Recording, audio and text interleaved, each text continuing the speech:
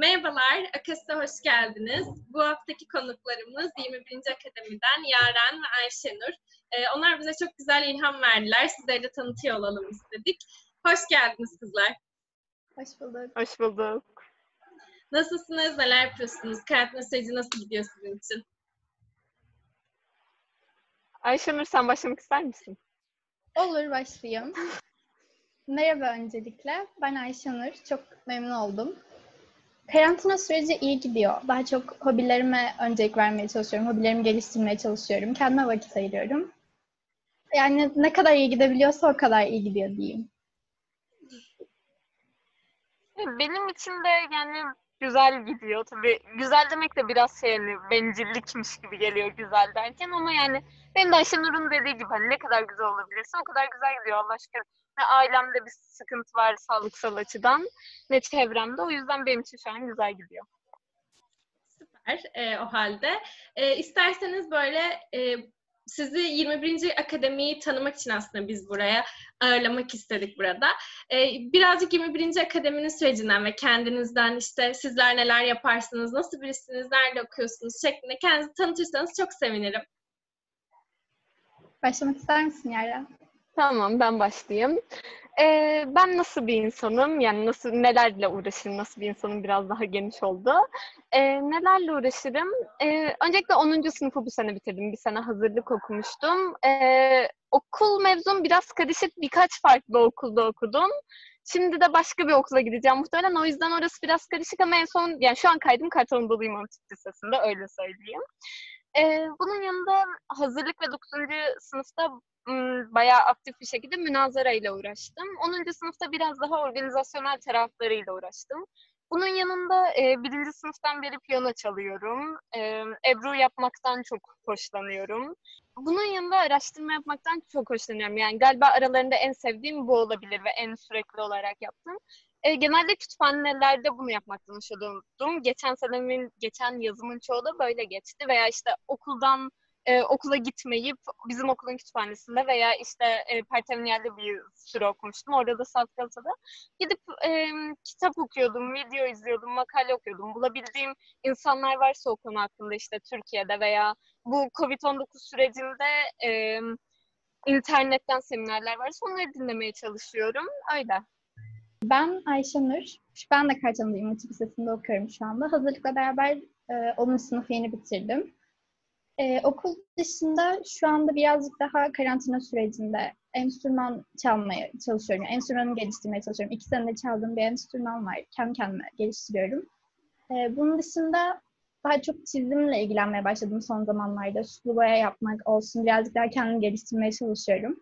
Bunlar dışında liseye başlamadan önce dernek çalışmalarına çok fazla katılıyordum. Lisede yurtta kaldığım için vesaire çok fazla şu anda ilgilenemiyorum ama dernek çalışmalarına katılmaktan hoşlanıyordum. Sanırım bu şekilde. Bir de şey, 6 senedir falan ilgilendiğim fotoğrafçılık var. Daha çok en büyük hobim diyebileceğim. O şekilde kendimi geliştirmeye çalışıyorum. Süpermiş. Aslında her ikinizin de böyle sadece okul değil, okul dışında devam ettirdiğiniz çok fazla farklı farklı hobileriniz, araştırmalarınız var. Bunlar da eminim ki sizi çok güzel besliyordur. İşte sanat alanında var, enstrüman çalıyorsunuz, resim çiziyorsunuz, araştırıyorsunuz falan. Eminim ki size çok fazla şey katıyordur. Ee, bu süreç içerisindeyken 21. Akademi'yi kurmuşsunuz. Ee, 21. Akademi'de de aslında çok e, kolektif bir çalışma yürütüyorsunuz gördüğüm kadarıyla ve farklı farklı alanlardan bir çalışma yürütüyorsunuz. Ee, bu sizin araştırmalarınız araştırmalarınızın da burada bir e, karşılığı oluyor mu? Yani bu araştırmalardan mı faydalanarak başlattığınız 21. Akademi projesini? Nasıl bir proje? Birazcık izleyicilerimize anlatır mısınız? 21. Akademi bizim e, bu pandemi sürecinde kurduğumuz bir oluşum, platform. E, bu 21. Akademi adı altında biz şu anda kulüp çalışmaları yönetiyoruz. Aslında daha amacımız şey, e, belli konularda ilgisi olan arkadaşlarımızı bir araya toplayıp o konularda hem kendimizi geliştirmek hem de kendimizi geliştirirken bilgi aktarım yapmak, fikir paylaşım yapmak, bir bakıma bir tartışma ortamı oluşturarak aslında kendimizi geliştirmek, bir network alanı oluşturmak. Ee, ama asla şey değil, böyle bir konuyu birisi araştırsın gelsin bize ders veriyor şeklinde olsun, tek tarafın bir bilgi paylaşımı yaptığı şekilde değil de hep beraber araştıralım, hep beraber bilgi birikimimizi paylaşalım şeklinde. 21. Akademi zaten böyle çok büyük hedefleri yani çok büyük bir iddiası olan bir kurum değil. Yani böyle kurum da demek doğru olmaz da platform diyeyim. E, değil yani böyle size bir şeyler öğreteceğiz. Buradan çok öğrenmiş bir şekilde çıkacaksınız. Ders veriyoruz. Biz bu konulara çok hakimiz değil. Böyle bir iddiamız yok bizim. E, moderatörlerimizden de böyle bir isteğimiz yok. Bu arada şey değil yani o kulüpleri biz biraz daha organizasyonel kısımdayız. Ben geçen sene Türkiye Siyasi Tarih Kulübü'nün moderatörlerini yaptım. Onun dışında biraz daha organizasyonel kısımdayız. E, ilgi alanı olan Türkiye'deki insan lise öğrencilerini genelde ama bu da kısıtlı değil. Yani doktora yapan öğretmenlerimiz de geliyor bazen veya işte direkt bizim öğretmenlerimiz de katılıyor kendi okulumuzdan veya başka okullardan duyup katılıyorlar. Böyle yani yaş sınırımız yok ama genelde e, katılan kitle lise öğrencileri. Bizim de bir tık daha beklentimiz oydu. Neyse demek istediğim biraz lafı uzattım kusura bakmayın. Ee, sorduğunuz hani bu araştırmalarınız size e, yardımcı oluyor mu? Aslında araştırma yapma isteğimiz bize yardımcı oluyor. Böyle cevap verebilirim sanırsam. Süpermiş. Yani aslında bu bahsettiğiniz e, motivasyon çok güzel bir motivasyon. Çünkü hepimiz farklı farklı şeyler yapmak istiyoruz ama özellikle evdeyken, tek başımızdayken kendimizi gerçekten yalnız hissediyoruz. Ama aslında bunları yapmak isteyen tek kişi olmuyoruz ve bu insanları bir araya getirebilmek harika bir şey bence de. Çok güzel bir oluşum bu yüzden. Öyle dediğiniz gibi yüksek hedeflerle başlamamış olsa da eminim ki çok güzel yerlere gelecek ya da en azından insanlara çok güzel bir fayda sağlamış olacak. Bu da eminim ki zaten her biriniz için yeterli bir şeydir. Ee, bir de şunu merak ediyorum. 21. Akademi ismi nereden geliyor? Neden 21. Akademi? Sizin için ne ifade ediyor bu isim? İsim kısmı bizim için birazcık daha şeydi böyle uzun bir süreçti ve bulmak için gerçekten üzerine çok düşündük. Hani hatta ilk kulüplerimizin çıkış yapacağımız tarih bir tık daha erken bir tarihti ama isim bulmak konusunda zorlandığımız da birazcık uzun bir süreç olduğu için ertelemek zorunda kaldık. İsim bizim için önemliydi. Hem amacımızı ifade etsin hem de gerçekten uygun bir isim olsun diye. 21. Akademide aslında şöyle çıktı. Ee, hem araştırma yaptığımda birbirimize paylaştığımız için bir akademi kuralım dedik. Ama bunun sıfatı ne olsun, nasıl yapalım? Şu anda hepimiz, yani çoğumuz 21. yüzyıl çocukları olduğumuz için ve 21. yüzyılın aslında bize verdiği imkanları kullandığımız için 21. akademi şeklinde aslında bize uyar diye düşünerek 21. akademi koyma kararı aldık. Evet. Hmm, tamamen Ayşenur'un dediği gibi e, oldu süreç ama şey de değil yani e, şöyle benim ekleyebileceğim tek şey herhalde biraz daha 21. akademinin e, pardon çok özür dilerim 21. yüzyılın gereklerini öğretmek değil belki ama orada kazanılması gereken bazı özellikler var. Okulda o kadar imkanınızın olmadığı, örnek veriyorum işte matematik dersinde çok bir şey hakkında tartışamıyorsun veya ben hiç bir e, sosyal bilgiler hocam, ondan sonra tarih dersi olan ders, umarım yanlış hatırlamıyorumdur bu bilgileri. E, olan derste hiç tartıştığımı hatırlamıyorum ama burada bir tartışma ortamı dönebiliyor veya işte dünyayı ilgilendiren e, olaylar hakkında takip edebiliyoruz. Bu izle, seçtiğimiz kaynaklarla birlikte oluyor veya birbirlerimizin farklı ilgi alanlarından birbirlerim, e, birbirimizi etkilememiz ve öğretmemiz şeklinde olabiliyor. O yüzden bunun gereklerini de biraz öğretmemiz gibi. Çünkü biz e, ülke olarak diyeyim, ülke olarak demem ne kadar doğru bilmiyorum. Bunun e, uluslararası boyuttaki alanını bilmiyorum ama benim gözlemleyebildiğim Türkiye olduğu için Türkiye üzerinden konuşacağım. Online eğitime geçtik ama online kulüplere geçemedik. E, ve aslında bunun eksikliğini hissettik. Çünkü Ayşenur da ben de kulüplerde çok aktif olmayı seven insanlardık. Ve insanların da şeyini gördük biraz senin pandemi sürecinde hem tek başına olmak biraz psikolojik olarak zor bir şey oluyor. Hem de bunu yapma ihtiyaçları oluyor. Sadece yeterli gelmiyor okul derslerini online veya işte EBA TV'den almak. O yüzden aslında biraz daha 21. yüzyılın gereklerini de öğrettiği için ve 21. yüzyılın verdiği Ayşenur'un dediği gibi Zoom gibi bir uygulama üzerinden e, ulaştığımız ve internetten aslında kaynaklarımızı takip ettiğimiz için ve 21. yüzyılın çocukları olduğu için 21. akademi demeyi tercih ettik harika bir bence şey e, isim gerçekten ve çok güzel bağdaştırmışsınız. Çünkü bahsettiğiniz gibi evet eğitime online olarak geçtik ve bir şeyler online olarak devam ediyor ki belki bu da aslında bir 21. yüzyılın yetkinlikleri arasında olabilmesi gereken bir şey. Gerektiğinde internetten de ilişkilerimizi sürdürebilmeye devam ediyor olmak. Yani aslında biraz daha proaktif bir çözüm bu da bakıldığında. Bence siz bunu çok güzel kendinize uyarlamışsınız. Ee, bir de aslında siz burada e, bahsettiğiniz gibi işte farklı farklı alanlardan ve aslında bizim araştırma isteğimiz bizi 21. Akademiyi kurmaya itti diye bahsettiniz. Burada aslında çok güzel bir böyle entelektüel, kültürel bir havuz oluşturmaya çalışıyorsunuz ve işte bu havuzun içerisinde psikoloji kulübünden sanat kulübüne, işte Türk siyasi tarih kulübüne, e, bilim kurgu kulübüne pek çok farklı kulüp var.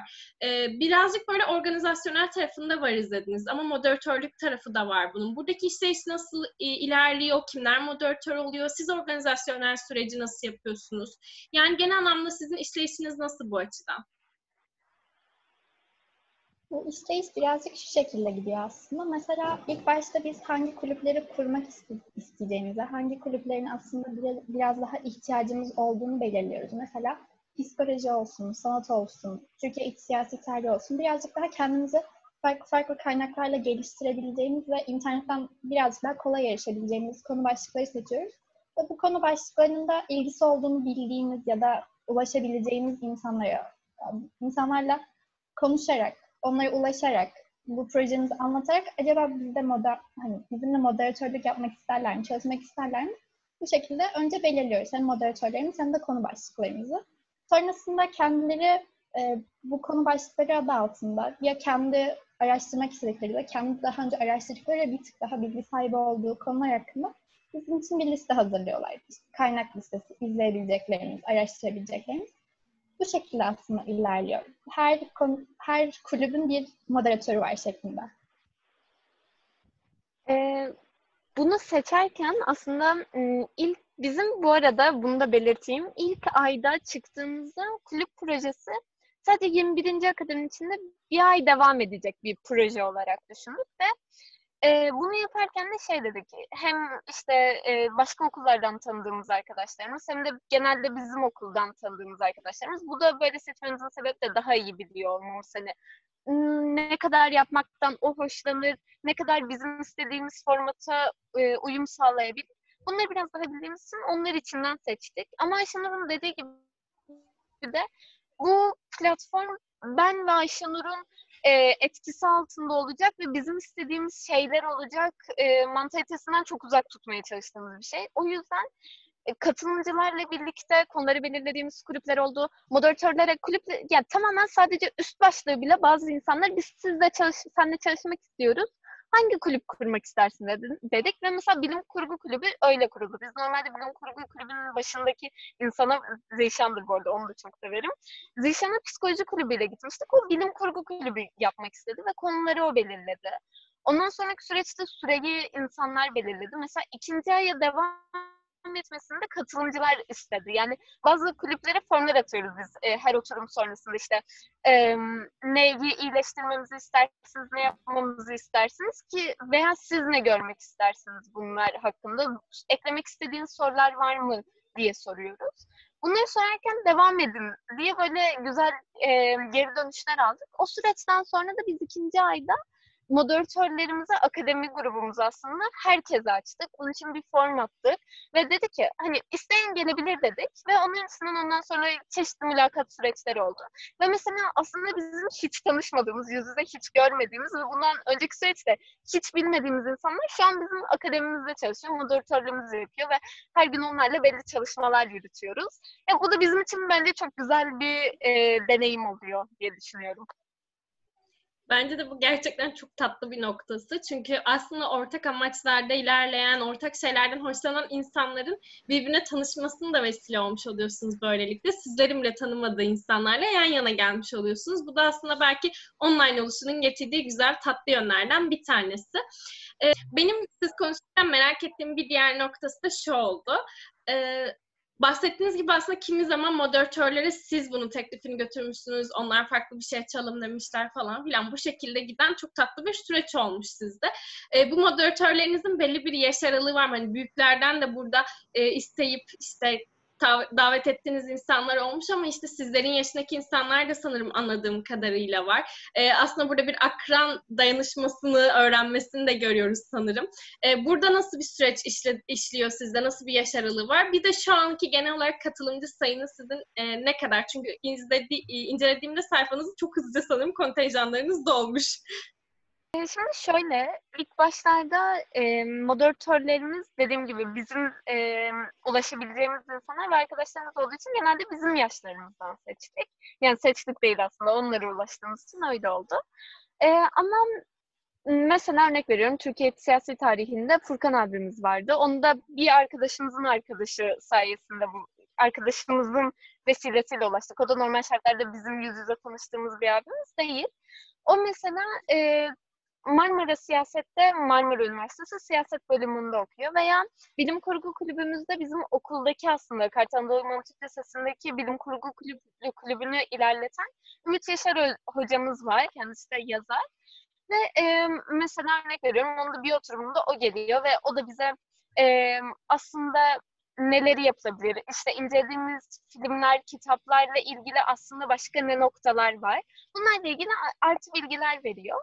Ee, bundan farklı olarak katılımcılarımızın yaş kitlesi de dediğim gibi daha çok bizim yaş kitlemiz ama e, hiç tanımadığımız böyle yine bazı e, öğretmen arkadaşlarımız oluyor. Arkadaşlarımız dememleri çok doğru olmadı. Öğretmenlerimiz oluyor başvuran. Hani gençlerle birlikte olmak istiyorum diyen veya işte ben de belki bir şeyler ekleyebilirim sizlerle birlikte izlemek istiyorum diyen öğretmenlerimiz de oluyor. Onlar da geliyorlar. E, bunun açısından katılımcılarımız ne kadar? Şöyle e, çok kısa bir anekdot anlatabilirsem çok memnun olurum. Böyle e, Ayşenur'la bu kulüp etkinlikleri başlamadan önce akademiyi kurduk. Arkadaşlarımıza söyledik işte onlar çalışma yapıyorlar, biz bunu yapar mısınız, onu yapar mısınız falan diyoruz. Ama Ayşenur'la da ondan sonra diyoruz ki Ayşenur ya kimse gelmezse. Hani bu kadar insan olacak, nereden insan bulacağız ki falan şey muhabbet yapıyoruz.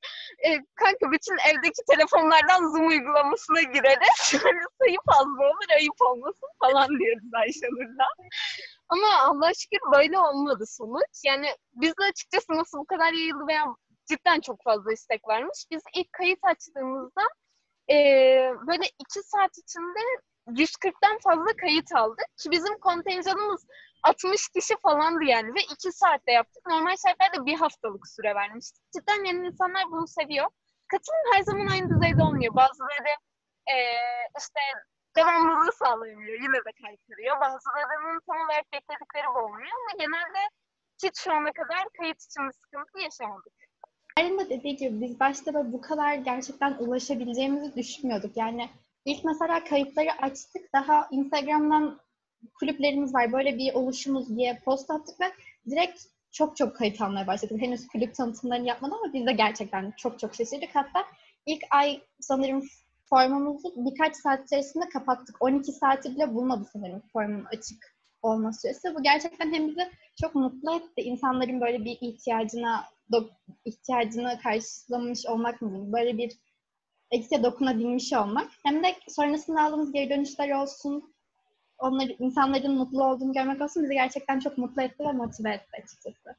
E, şimdi bu süreci aslında siz çok güzel bir şekilde online olarak yürütüyorsunuz ve aslında gerçekten bu kadar fazla muhtemelen bir katılımcı sayısının bu kadar fazla başvuruyu almış olmanızın sebebi gerçekten bunu bir ihtiyaca binaen yapmış olmanız kesinlikle bence.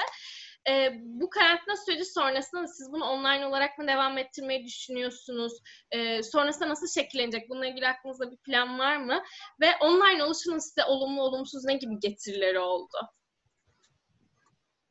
Bu süreç bittikten sonra, Covid sürecinden sonra aslında birazcık daha sanırım kulüp çalışmalarından çok söyleşi, küçük küçük tek oturumluk şeylere yönelmemiz daha sanırım mümkün ve makul olacak. Çünkü bizim de 11. sınıfa geçiyoruz, sınav dönemimiz başlıyor, dersleri çalışıyoruz vesaire derken bir tık daha programımız yoğunlaşıyor.